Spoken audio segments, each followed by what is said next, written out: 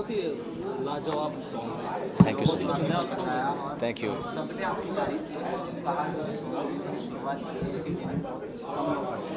नहीं इसमें आप सच्ची बताऊँ मैं इसमें कोई क्रेडिट लेने की बात ही नहीं है। मैं सच्ची बता रहा हूँ इसमें तो मेरा मेरा स्वार्थ है। क्योंकि मैं इन लोग जैसे शान ही मेरे हम उम्र हैं एक तरीके से। बाकी सब तो मुझसे सीनियर ही हैं। आशा जी तो सबकी दादी है एक्चुअली सारे सिंगर्स में से। सुरेश जी को सुन के हम बड़े हुए हैं।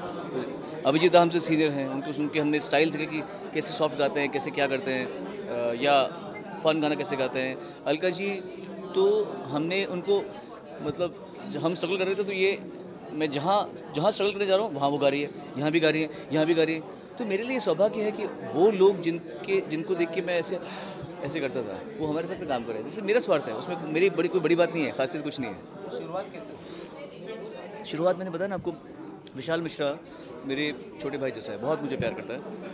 तो वो जब भी कुछ अच्छा बना के लाता है, वो कहता भैया, ये बनाया मैंने, भैया, ये गाना बनाया तो ये मेरे पास आया है, इसलिए पियानो पर गाना सुनाया मैंने, बोला, यार, ये गाना वेस्ट ना हो जाए तो आजकल फ़िल्मों में लेते नहीं लोग, ऐसा गाना नहीं लेंगे सिंगल को बजाएँगे नहीं ठीक से।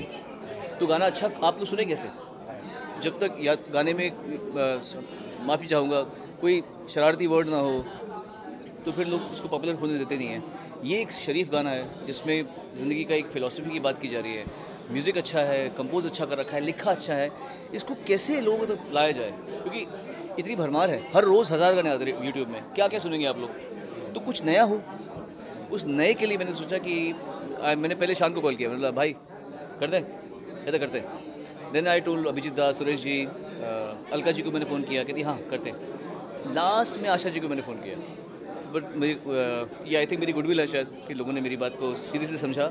ये भी विश्वास रखा कि मैं अपने को आउटशाइन करने, करके बाकी को कम नहीं करूँगा। ये भी उनको विश्वास था कि I will do proper justice to all of them तो सबका वर्जन सुन रहे हैं आप लोग और मेरे ख्याल से लोगों के लिए ये एक तोहफा है हमारा सुरेश आपका ये मानना है मतलब जो रियल सॉन्ग है जो रियल डेफिनेशन है के गाने जी। हम सिंगल्स में देख पाते ना कि नहीं ऐसा नहीं है। अब जैसे अभी मुझमें कहीं बाकी थोड़े अच्छा गाना था अच्छा लिखे हुए गाने। कई गाने और भी जो मैंने नहीं गाए कई गाने बहुत अच्छे आते हैं। पर क्या अच्छी चीज़ मिलती रहे तो बेटर है ना? कोई ये तो नहीं कि मुझे इतना ही चाहिए। अगर आपको हमेशा कुछ अच्छा मिलता रहेगा आपके बच्चे कुछ अच्छा सुनेंगे कोई मान लीजिए आपके बच्चा गाता हो उसने ज़िंदगी वो सुनेगा तो उसको मालूम पड़ेगा यार मैं किसी जब मेरे पापा मम्मी मुझे बोलते हैं कि कहीं बेटा अच्छा गाना सुनाओ तो मैं ये गाऊँगा। ऐसे गाने बनाएँ जो आपके बच्चे स्कूलों में गा सकें या आपके बच्चे गैदरिंग में बोलते "ओ, बच्चे बच्चे हमारा बच्चा बड़ा अच्छा गाता है हमारा बच्चा "ओ, बच्चे गा गा गा। तो कोई गाता कल होना हो कोई गाता है अभी मुझमें कहीं कोई आशिकी टू गा देगा। ये गाना वैसा है कि लोग आएँगे ऐसे ऐसा है। आपने हमेशा आपने हमेशा सच सच बोला है कैमरा टाइम जो एक चल रहा है चल रही है श्री दत्ता जो है, बातें कर रही किसकी सॉरी क्या क्या चल रहा श्री दत्ता जो है? नाना के नाना नाना पाटेकर के ऊपर अच्छा। अच्छा। एक्चुअली देखिए जिस बारे में मुझे पता नहीं है मैं हमेशा वही बात करता हूँ जिसके बारे में मुझे पता हो।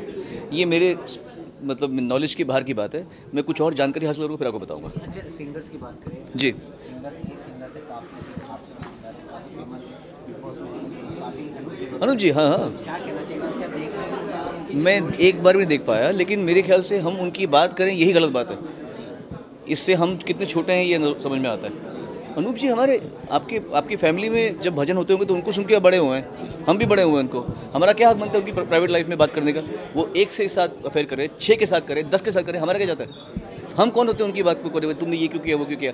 हम कहाँ से बड़े, सच्चे, अच्छे हो गए सो ये बात करना ही रॉन्ग है और इस बारे में उनका मज़ाक उड़ाना या उनके बारे में मीम्स बनाना उनके बारे में जो इस कम्प्लीटली रॉन्ग आई डोंट